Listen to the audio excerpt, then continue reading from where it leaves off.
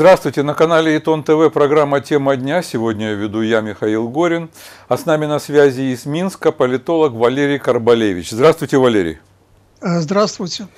Э, вот э, буквально вчера, в среду, Общенациональное телевидение Беларуси выпустило в эфир двухсерийный фильм, который называется «Убить президента» и в нем рассказывается о якобы готовившемся покушении на Александра Лукашенко, которое было раскрыто совместно спецслужбами Белоруссии и России.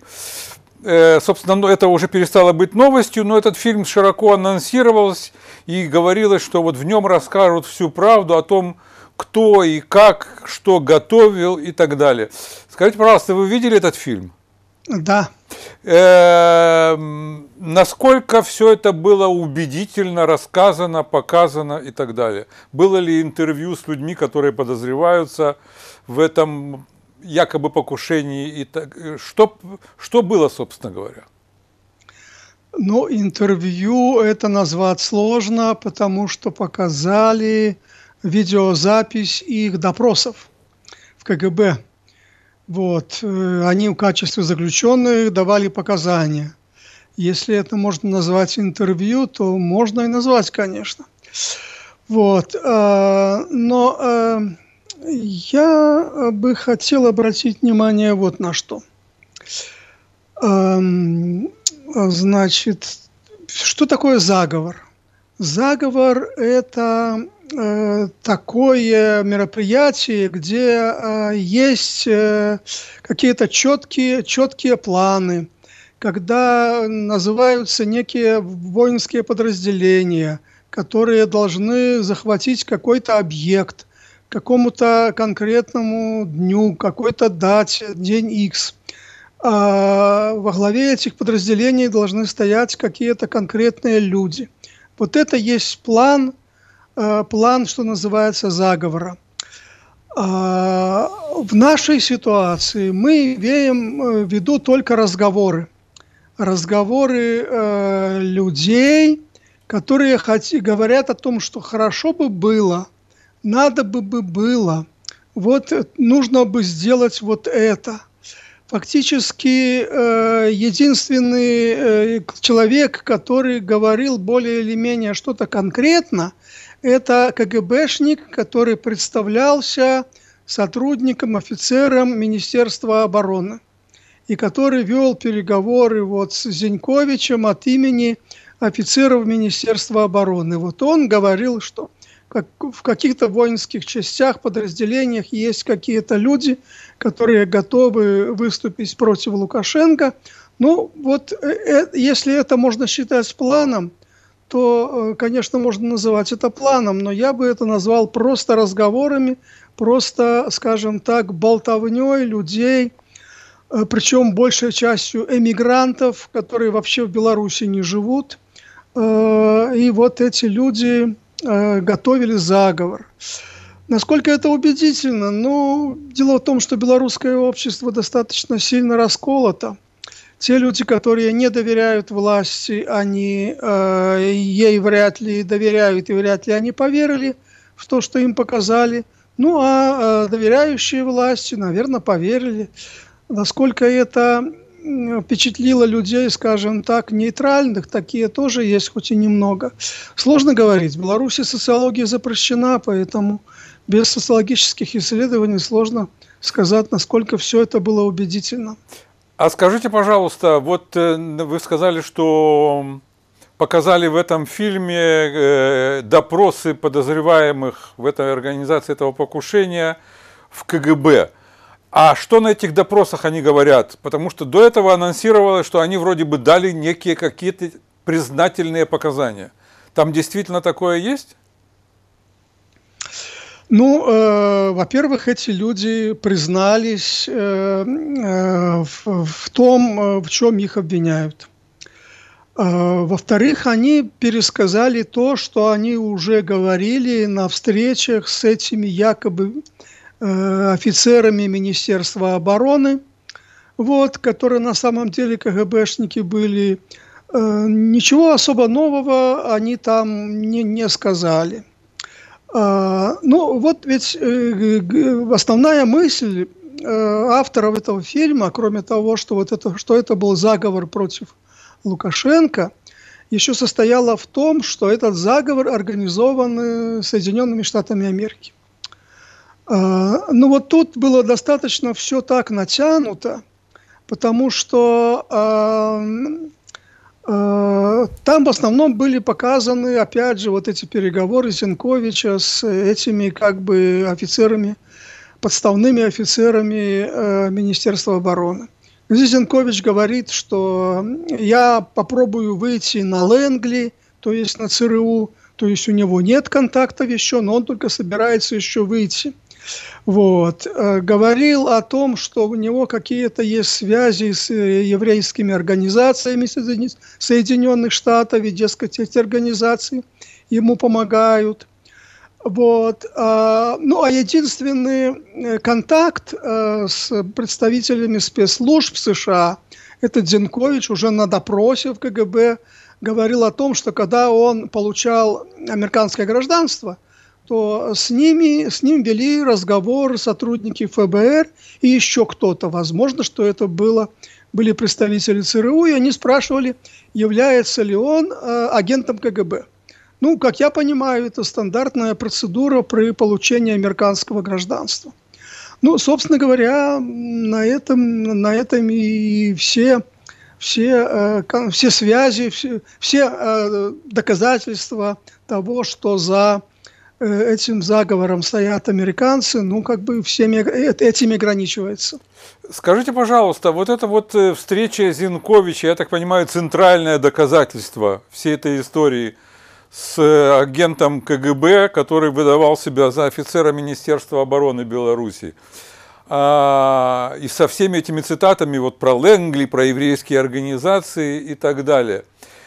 Э, нет сомнений, что это действительно Зинкович, что это не постановка с кем-то, что это э, кто-то другой там. А, ну, судя по всему, что показали, у меня нет сомнений, что это был Зинкович. Сам Зинкович. Да, сам Зинкович, и он, собственно говоря, не отрицает это уже в ходе допроса в КГБ. Поэтому тут, тут наверное, все правильно. Понятно. И Федута тоже подтверждает на этих допросах, что он участвовал во всей этой истории. А, да, подтверждает, потому что ну, там документально зафиксировано, во-первых, что он говорит в Зуме во время какой-то дискуссии, потом, что он говорит в Москве в ресторане Тарас Бульба во время встречи с этими так называемыми сотрудниками Министерства обороны, которое было записано. Ну, трудно отрицать, когда вот все это показывают себе на, на записи. Скажите, пожалуйста, существует э, как бы в обсуждениях всей этой истории много версий, безусловно, но есть три как бы основных. Э, первое, что да, действительно было, действительно пытались организовать переворот, захват власти. Там как пытались, хорошо, плохо, правильно, неправильно, уже другой вопрос, но пытались. Второе, что все это было инспирировано белорусским КГБ и преподнесено уже Лукашенко как вот разработанную операцию. И третье, что это было вообще все организовано по заданию Лукашенко, который таким образом вот каким хотел доказать Москве, что он в опасности и нуждается в помощи. У вас есть какое-то понятие собственное, какой версии вы склоняетесь, или вообще, может быть, к другой? Что это было? Ну, тут скорее симбиоз первой и второй версии. Э, были люди, которые обсуждали действительно э, радикальные способы э, переворота в Беларуси, в том числе убийство Лукашенко.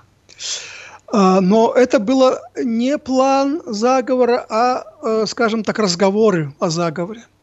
КГБ об этом узнал – и после этого он включился в эту игру, и именно КГБ являлся как бы, ну, провокатором, что ли, инспирировал все дальнейшие разговоры и перевод этих разговоров уже в какое-то конкретное русло. Поэтому вот тут как бы симбиоз первой и второй версии, я бы сказал. Понятно. Скажите, пожалуйста, вся эта история, э, особенно с учетом того, что если действительно она была, и, как вы сказали, это был симбиоз, но в основе все-таки была, она пойдет, может пойти во вред репутации белорусской оппозиции, хотя эти люди вроде бы и не имели к ней прямого отношения. Вы сами вначале сказали, что это иммигранты, которые, у которых связь которых с Белоруссией очень такая сомнительная. Но тем не менее, может ли это навредить именно репутации белорусской оппозиции? Ну, наверняка да. Но опять же, в чьих глазах? А, я уже говорил, что белорусское общество достаточно четко поделено по отношению к Лукашенко. Вот. И э, вот в, в, в этой части общества, которой Лукашенко не верит, э, то вряд ли это произойдет какое-то впечатление. А та часть, которая верит, это меньшая часть, но наверняка они еще больше возникнут, у них ненависть к оппонентам власти. Э, насколько это повлияет на людей, на людей, которые некий нейтралитет сохраняют, ну, сложно сказать. На зарубежье, на внешних актеров, ну, сложно говорить. Я думаю, что Россия воспользовалась этой ситуацией на полную мощность и даже, я думаю, гораздо успешнее капитализировала эту историю своей внешней политики в своих интересах. Даже Путин – Э, в послании Федеральному собранию об этом говорил, причем значительная часть внешнеполитического раздела была посвящена этому заговору. Россия этим воспользовалась, да.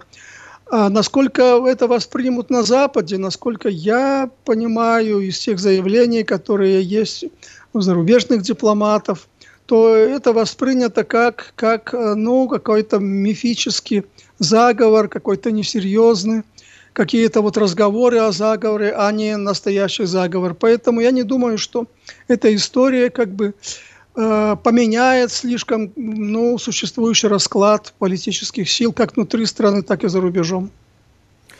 А не может ли эта история дать э, в руки Александра Лукашенко какие-то новые рычаги для большего закручивания гаек? Или они, эти рычаги и так у него были, это не имеет тоже никакого значения? Ну, безусловно, в пропагандистском смысле власти уже используют эту историю для усиления политических репрессий, для объяснения того, почему надо садить оппонентов в тюрьму, дескать, никакие это не мирные протесты, вот на самом деле они готовили силовой захват, готовили убийство президента. Вот. Ну, в этом смысле, да, это в какой-то мере легитимизирует политические репрессии.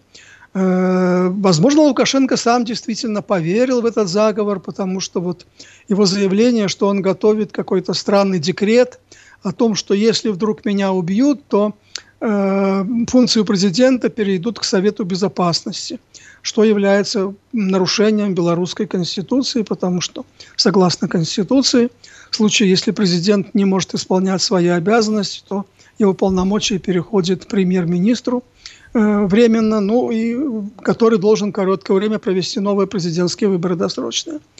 Вот. Э, коль Лукашенко этим так э, возбужден, ну, значит, на него это произвело серьезное впечатление. Коль, коль он готов э, принимать какие-то неконституционные действия, не дожидаясь даже принятия новой Конституции. Валерий, большое спасибо за ваш комментарий, что нашли для нас время. Всего вам доброго. До свидания. На этом все. Напомню, что с нами на связи из Минска был политолог Валерий Карбалевич. До свидания.